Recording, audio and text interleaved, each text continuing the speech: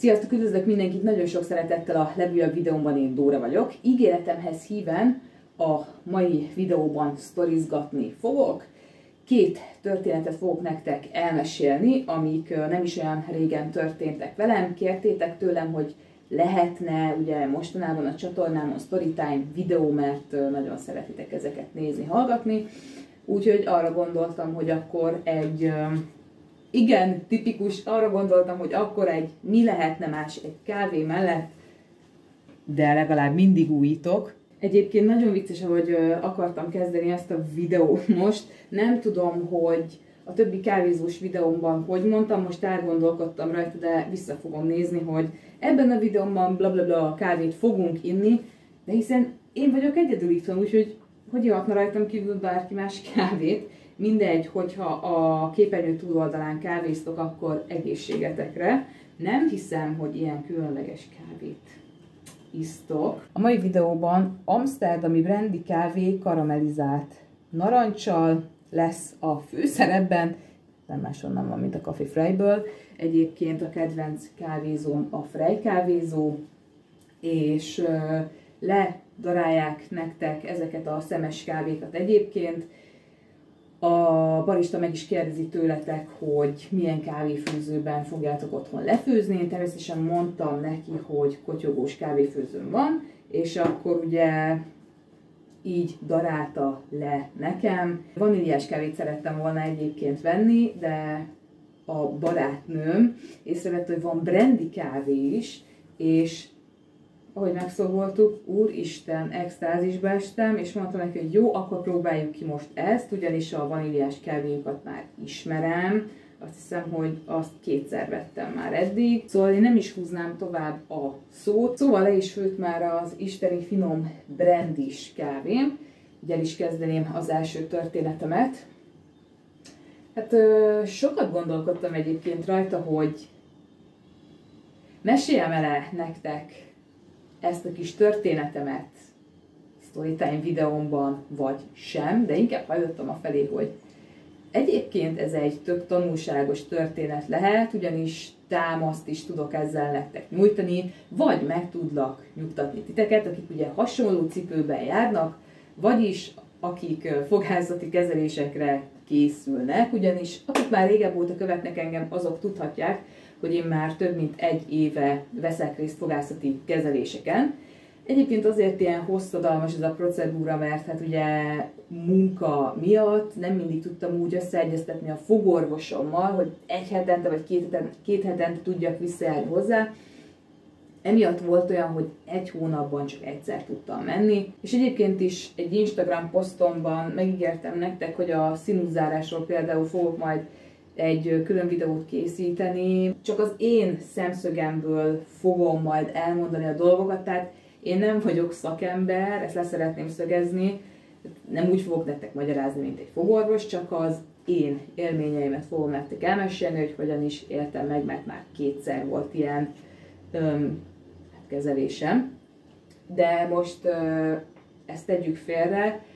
Amit el szeretnék nektek mesélni. Most ideiglenes koronám van szemfogtól szemfogig. Nagyon-nagyon durván töredeztek ezek a fogaim itt elől, és szuvasodtak, nagyon sokszor voltak tömve. És az orvosommal ugye arra jutottunk, hosszú távú megoldás érdekében legyenek koronáim, és jövő héten kell majd visszamennem egy próbára, aztán lesz majd még egy találkozásunk, amikor megkapom a végleges kis koronáimat. Egyébként nagyon-nagyon várom már. Nagyon boldog vagyok, ugyanis um, nagyon régóta készültem már uh, ezekre a napokra. A lényeg az, hogy mielőtt ugye elkezdik a, egyáltalán a körbecsiszolást, ugye a koronákat majd fel tudják ragasztani, Azelőtt ugye vannak olyan fogak, nekem például kettő fog volt begyulladva a hat, fog, a hat fogból, gyökér kezelni kellett. És um, egyébként megnyugtatlak titeket, de tényleg, hogyha találtok egy nagyon-nagyon jó szakembert, én egyébként magánorvoshoz járok, akkor az injekciók beadása, valamint a, a gyökérkezelés sem lesz fájdalmas. Tehát ugye én úgy, úgy feküdtem végig a kezeléseket, és nem viccelek, jól hallgassátok meg, majdnem elaludtam. Mondom, mi az? Honna, hogy? Tehát annyira paráztam egyébként mindig előtte, egyébként mindig elmondom Lilinek, a barátnőnek, hogy figyelj, egyébként én nagyon szeretek fogászatra járni, és imádok oda menni. Most gondolom, hogy így néztek, hogy Úristen, de esküszöm nektek, hogy nagyon-nagyon szeretek fogászatra járni. Én már úgy járok a fogorvosomhoz öm, vissza, mint hogyha hazajárnék. Szóval én tényleg nagyon szeretek fogászatra járni. Nem, nem úgy nézek rá egyébként, hogy úristen, most meg fognak kínozni, hanem hogy egészségügyileg és esztétikailag is rendben lesznek majd ugye a fogaim hosszú távon, mert mint tudjuk, ugye egy, egy rossz fog az a szervezetbe sok bajt tud csinálni, keresetek nyugodtan utána, és nekem ugye nagyon-nagyon fontos az egészségem. Az egyik gyulladt fogam, amit gyökérkezelni kellett, az a baloldali szemfogam volt. Igen. És aztán ugye kezdődött a csiszolás. Um, körülbelül egy ilyen 45 percet feküdhettem a székbe egy órát, ugye ez az egész procedúra még lement. Mondja nekem a, a fogorvosom, nem, nem tudom, mondom még egyszer nektek, nem tudom a szakszavukat ezeknek a különféle kis kütyüknek, meg tűknek, meg idegtű, vagy mit tudom én, amiket használok. Itt van a szám. Azt mondja nekem a fogorvosom, hogy um, eljutottunk ugye a gyökércsúcsig, szóval ő most csinál egy röntgen felvételt, ami alapján meg tudja nézni, hogy tényleg kipucolt-e mindent, és tényleg minden nagyon patent, szóval igen. Mit van a szem, és akkor mondja nekem, hogy de egyébként ne zárja be a száját, ugye át kellett mennem egy másik székbe a röntgenfelvétel miatt, mert egy tű áll ki a fogából. akkor azért egy kicsit én is így mosolyogtam, hogy uh-huh, és fogtam, felálltam, és így arrébb totyogtam így egy tűvel a számba, leültem így a röntgenező székre, rám rakták azt a nagy, mit tudom én, kabátot, tudjátok, ami, ami kell ilyenkor, amikor röntgenezek, tényleg, bocsánat, nem tudom a szakszavakat, nyitva van a szám, és miközben a dokim, a doktornő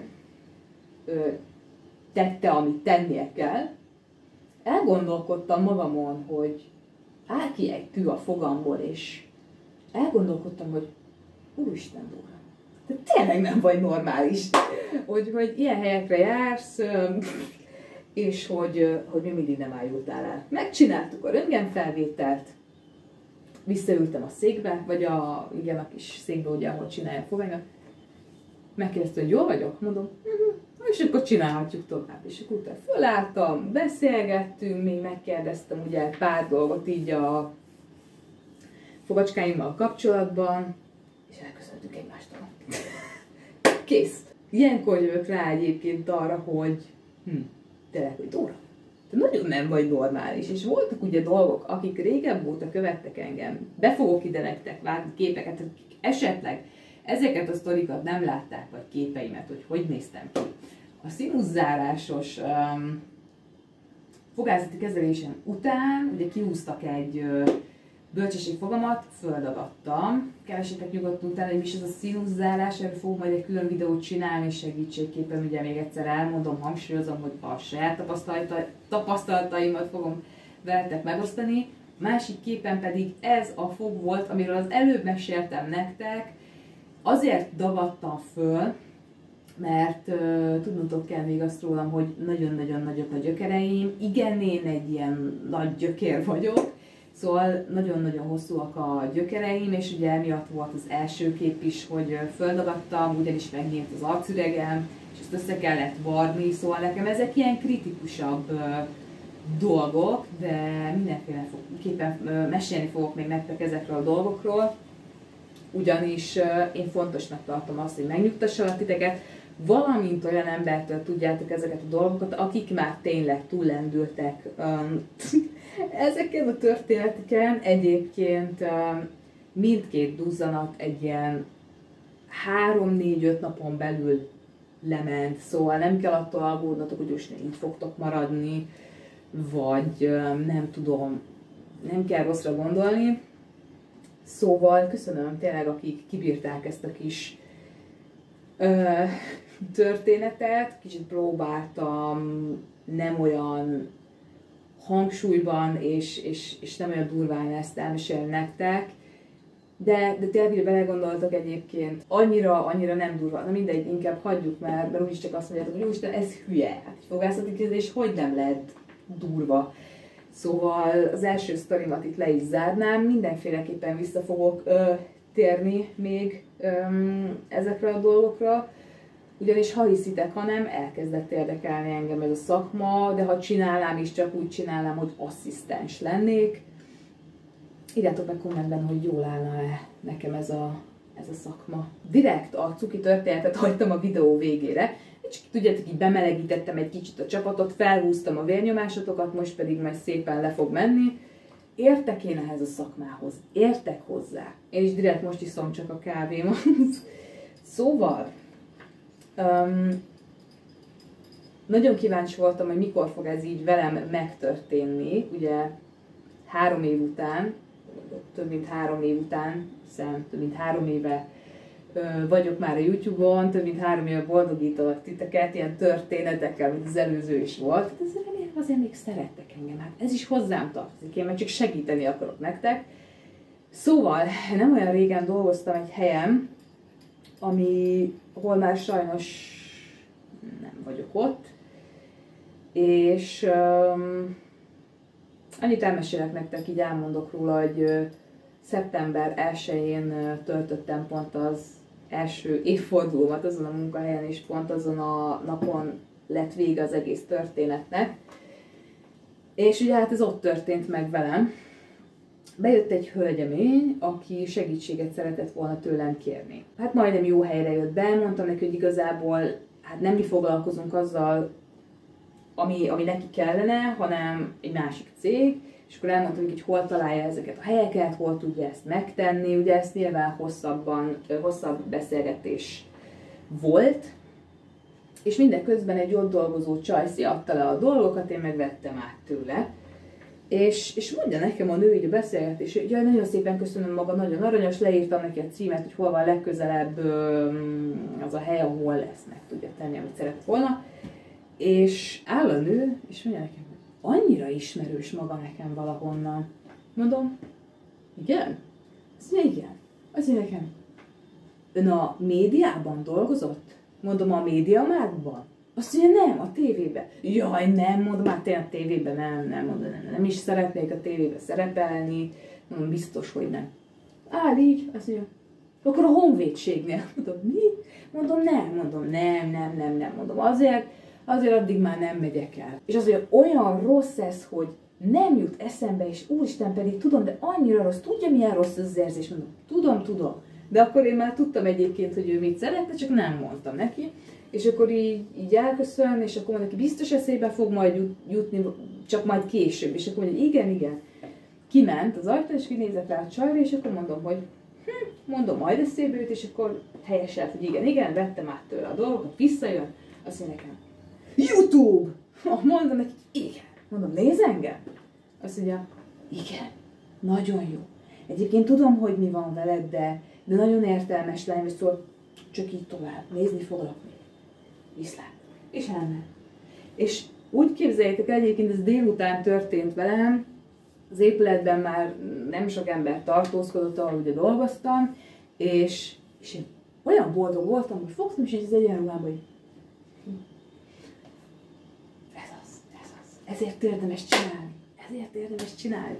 Szóval, hát felismertek igazából, ez volt az első ugye, aki, aki így, mondta, hogy Youtube-on vagy, és megdicsért is személyesen. Egyébként volt már pár ember így, így nézőim közül is, akik írtak nekem, hogy láttak a városban, de nem mertek oda jönni, meg láttak a mit tudom én, hanyas villamoson, csak háttaláltam, és egy levél és, és igazából ilyenkor mindig visszaírok, meg egyébként most is mondom nektek, hogy úristen, tehát én nem vagyok sztár, tehát ugye milliós nézettségeim lennének, akkor se tartanám magamat sztárnak, tehát bármikor oda lehetne egyébként jönni hozzám beszélgetni. Szerintem én még jobban örülnék neki, mint ti.